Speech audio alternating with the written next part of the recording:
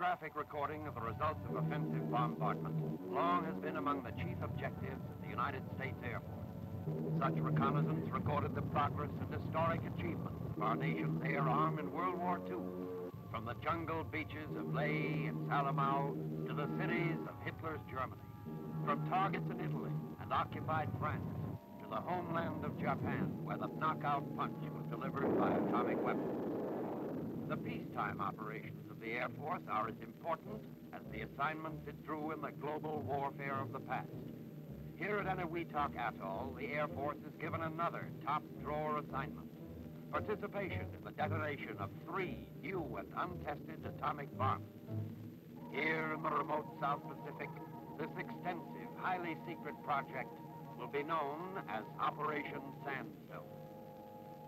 Early in the planning phase, Lieutenant General John E. Hull, Joint Task Force 7 Commander, confers with Major General William E. Kepner, Deputy Task Force Commander and Commander of Air Force Operations. Brigadier General David Ogden, commanding general of the engineers assigned to the project, points out the geographic relationship of the test islands surrounding the Eniwetok Lagoon. The main base of operation in the atoll, Eniwetok Island itself, Parry, the site of the firing and timing station,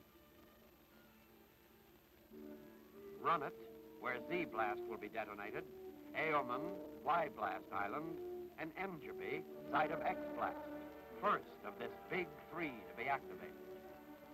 On a coral shoal in the lagoon waters, a photographic tower will be constructed.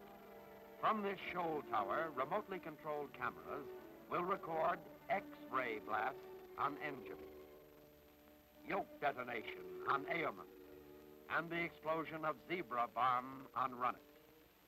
Following the planning phase, construction on the shoal tower is completed and Army engineers, together with civilian construction units, continue with work on the zero and photo towers erected on land sites.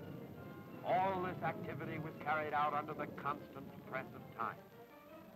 One important time was a small L-5 liaison aircraft.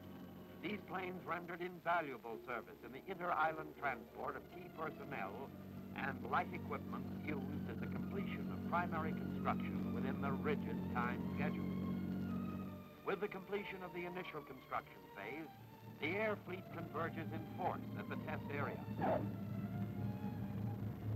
Vital scientists and couriers, special observers, and key military personnel were all regular passengers of these aircraft. Among the first arrivals was Brigadier General Paul T. Cullen, charged with all photography on this project.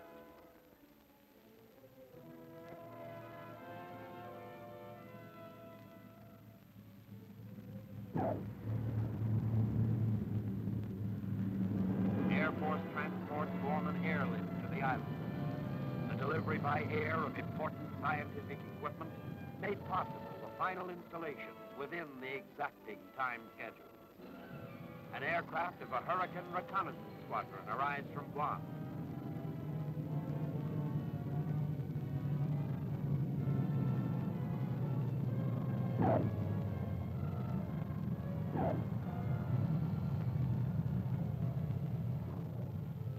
These and other long-range aircraft will be based here at nearby Kwajalein Island because of the longer runways and superior operational facilities. Photographic aircraft, veterans of atomic reconnaissance on Operation Crossroads, arrive on schedule.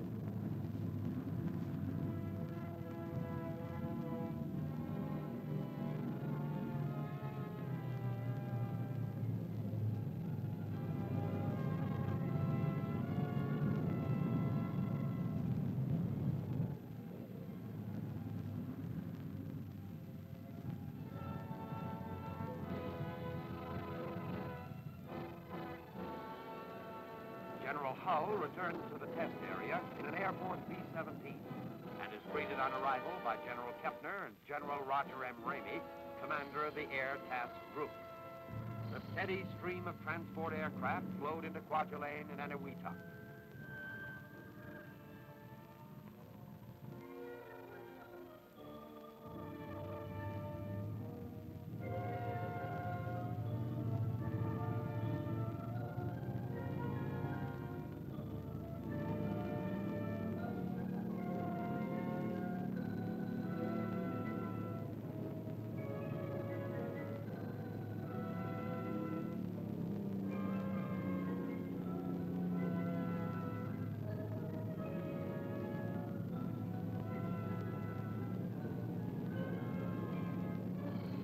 With the arrival of the drone unit, the air echelon is complete.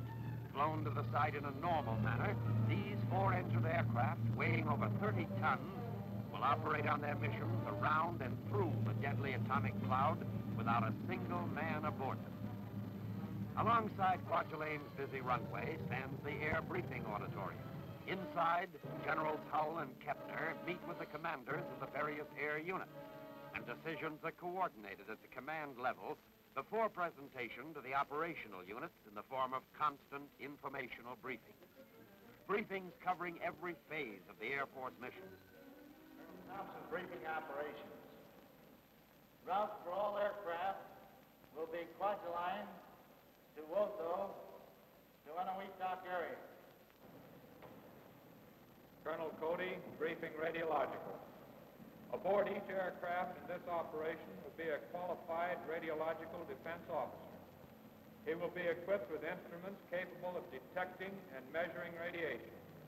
His primary duty is to act as a technical crew member, advising the aircraft commander on matters of radiological defense, and secondarily, in obtaining scientific data and the evaluation of this data for use in future Air Force operations. Time of detonation, a brilliant flash will occur. This flash has been estimated by some to be from 10 to 30 times the brilliance of the sun. The burst will be instantaneous, and the brilliance does not persist. Following the burst, a fireball will appear and a cloud arise. It will then move and dissipate in accordance with the winds at the various levels existent at that time.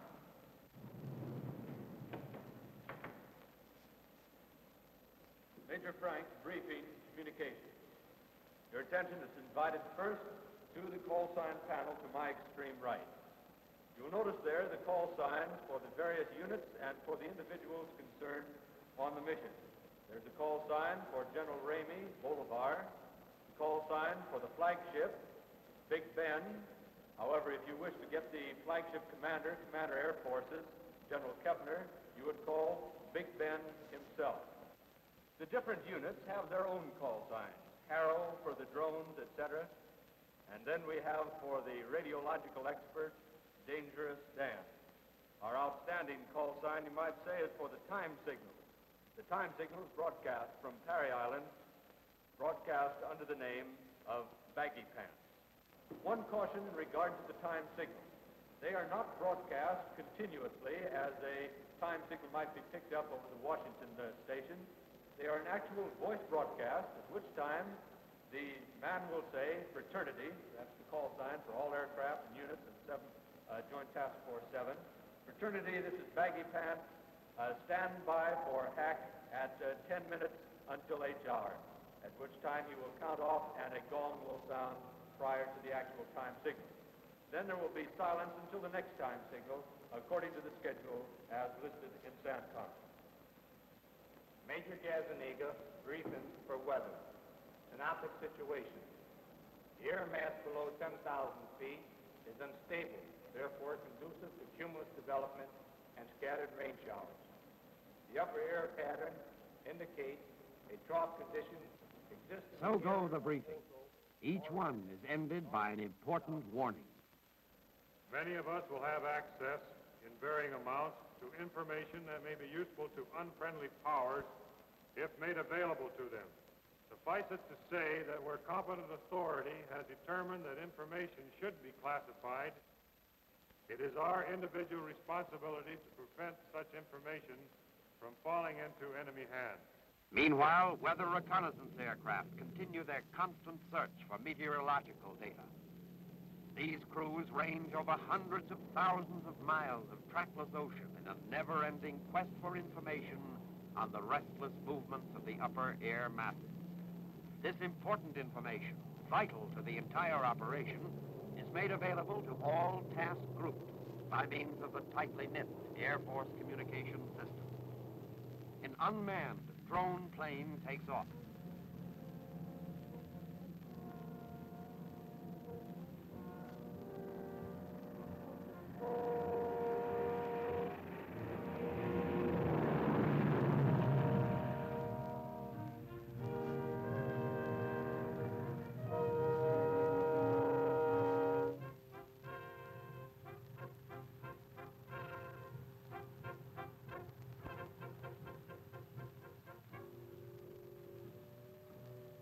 As the drone is airborne, a mother plane sweeps in low and takes over flight control.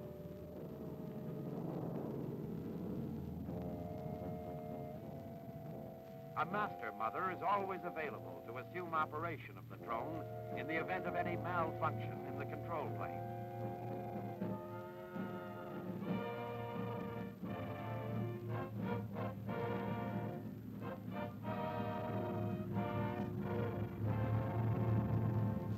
The mission of these drone aircraft will be to obtain samples from the heart of the deadly radioactive cloud arising after the detonation.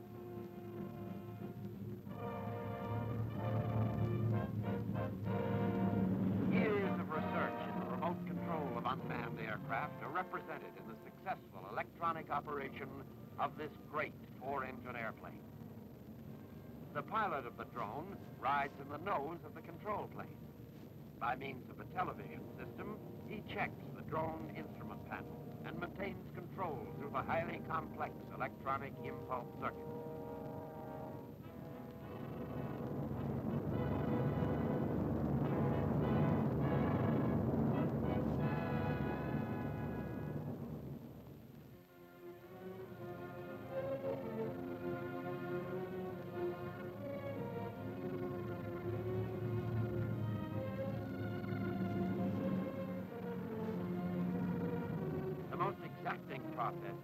Operation is the landing of these 30-ton flying laboratories. These landings require the most precise and careful coordination to prevent damage to the delicate instruments, the aircraft itself, and to ground personnel. Following normal landing, the plane is braked to a smooth stop, and sample recovery crews assume control. In practice, the same precautions are used as will be exercised after radiological contamination. Engines are cut by means of an external switch, and the plane towed from the runway to make room for other landings.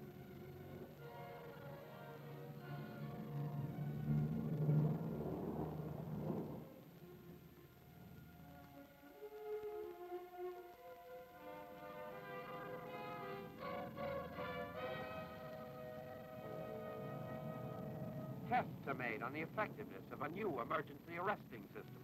The plane comes in at approximately 100 miles per hour, touches down, and rolls freely without the application of brakes to the far end of the runway.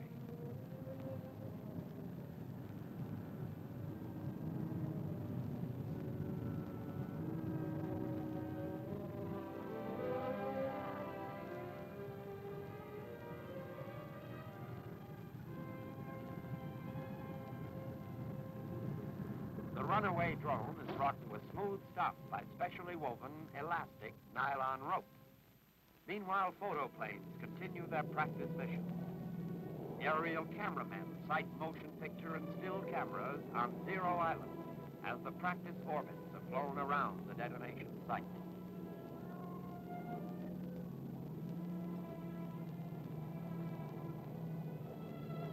Concurrent with flight operations, the Air Force ground crews are faced with an endless program of maintenance and repair.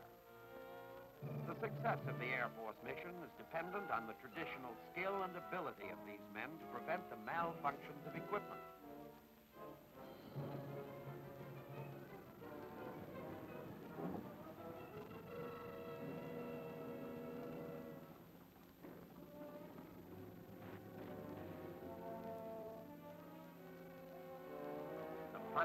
Final phases of preparation for X-Day begin.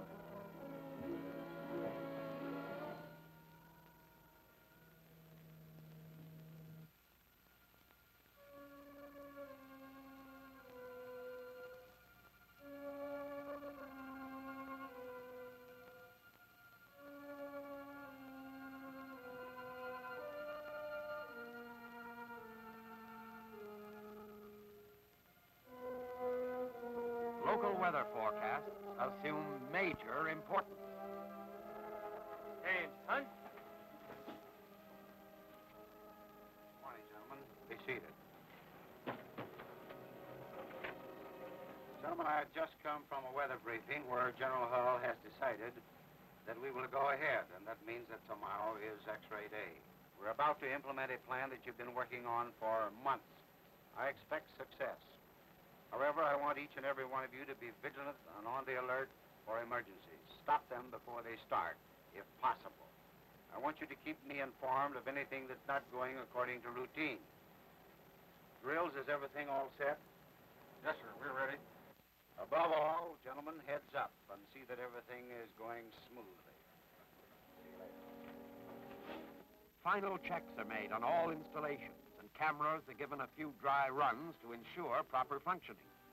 Scientific aspects of this explosion will be recorded in every conceivable photographic manner, from the high-speed motion picture cameras capable of exposing film at the rate of 10,000 frames per second, from normal 35 and 16 millimeter cameras using black and white, color, and infrared film, specially designed equipment such as the O'Brien smear camera, telephoto still cameras, all remotely triggered through the complex electronic circuits relaying impulses from the control station. The installations on all camera towers are complete. On Eniwetok, the manually controlled photographic equipment is focused on zero point. Sensitive sound equipment is being set up to record through a special directional microphone the actual auditory impressions from the blast. Photo equipment is checked and delivered for installation in the photo plane.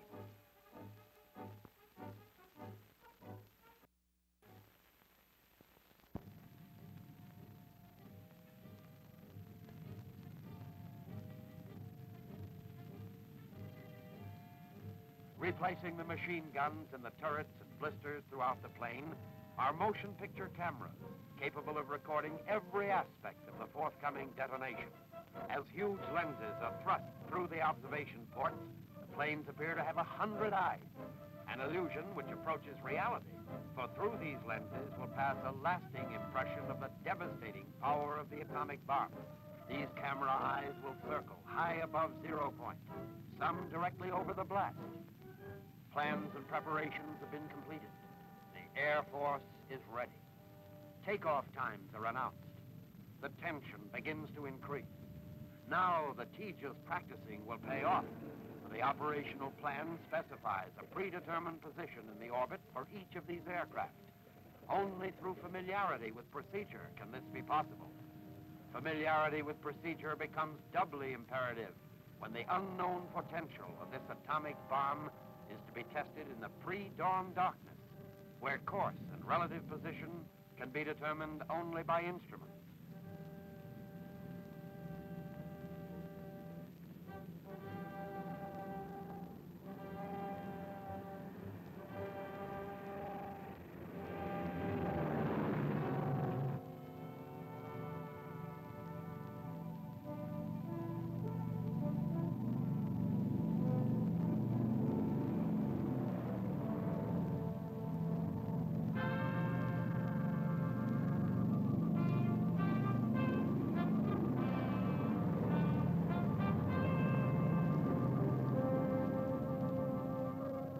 Close to Zero Island, the drone planes are prepared for pilotless takeoff.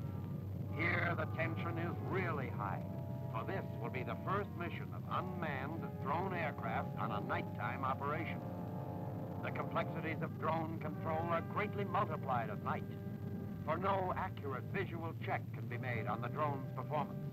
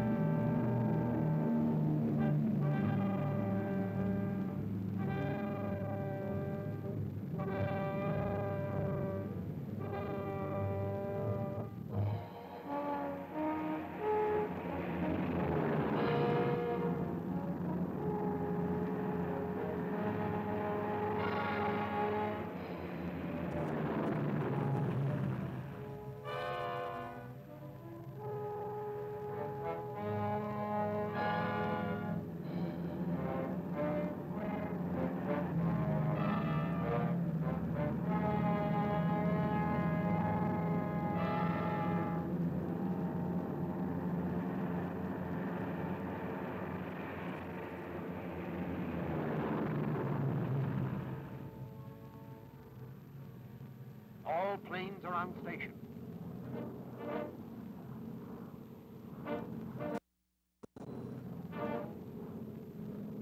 The control pilot guides operated drone directly over the pre-designated point of blast.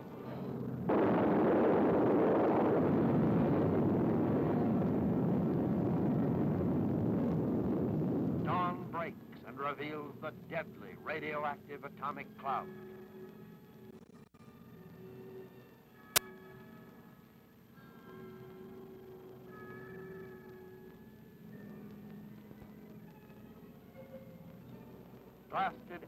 Island, far below, is revealed to the drone as it emerges from the atomic cloud.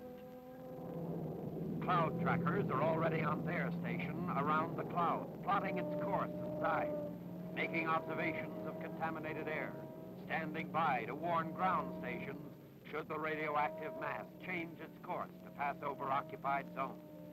The RadSafe monitor keeps the aircraft at a safe distance. The cloud lifts, the survey plane sweeps low over the radioactive crater. Monitors take accurate radiological readings of the most contaminated of the blasted areas. Back in the control room, the shifting pattern of all aircraft is plotted for General Kepner.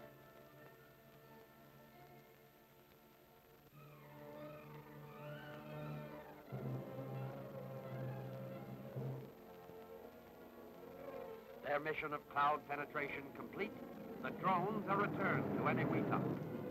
Air control is relinquished to the ground crew. Landing is effected by an electronic system similar to that used in the control plane.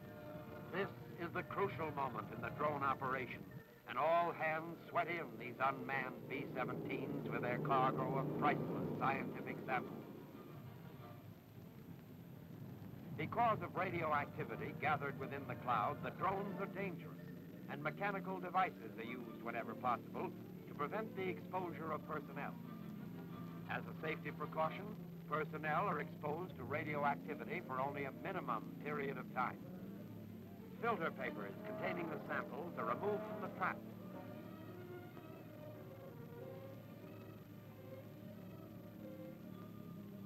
After packing in lead containers, they're prepared for air shipment to laboratories within the United States. After removal of the samples, the drones are decontaminated with a special cleansing solution. Photo planes return with their valuable records of the world's sixth atomic explosion.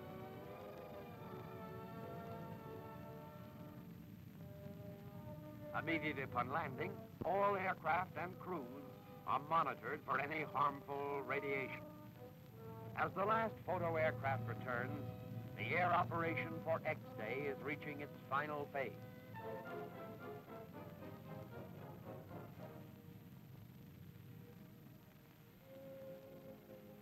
The precious film is unloaded in the presence of security guards, and along with other valuable scientific data, is loaded for shipment by courier to the United States. Even as the last courier plane departs, marking the end of X-Day phase of Operation Sandstone, preparations are underway for the second blast on the forthcoming Y-Day. With the initial preparation for Y-Day completed and favorable weather predicted, the tempo of last-minute activity is accelerated. Once again, these crews will face an unknown quantity, for the bomb to be tested on Y-Day is of a different and even more powerful type than that used on X-Day.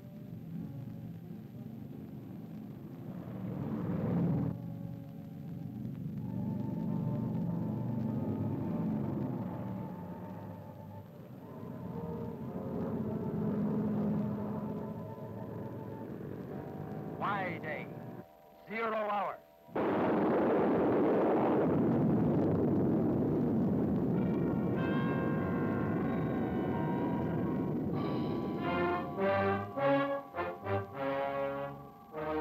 Aylman and Bajiri Islands lie as mute testimony to the devastating effectiveness of this new atomic bomb. I could go on and tell you about this, but I'd rather have you see the actual setup. This is a sound test just before Zebra Day. This is about 1800 minus Zebra Day. The camera is set up on Parry Island Tower. The sound test will be shot tomorrow morning. This is exactly the same position the camera will be in. This will give you an idea of the position the tower was in before the blast. The sound will be about 22 seconds after the blast is shown on the screen. This is what happened on Zebra Day. Hello, fraternity. This is Baggy Pants. Stand by for a final time signals. Stand by for a final time signals. At the sound of the gong, it will be minus 30 seconds. Minus 30 seconds. At the sound of the gong, it will be minus 20 seconds. Minus 20 seconds.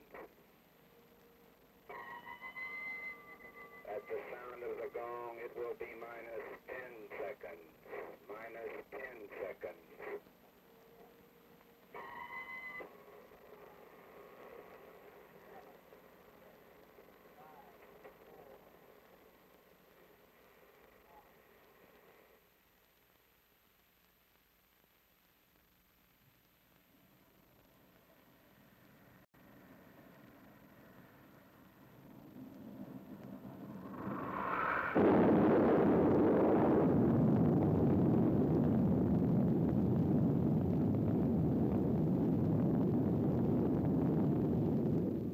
The pictures you have just seen are a grim warning of what the next war, if it should ever come, God forbid, can be like.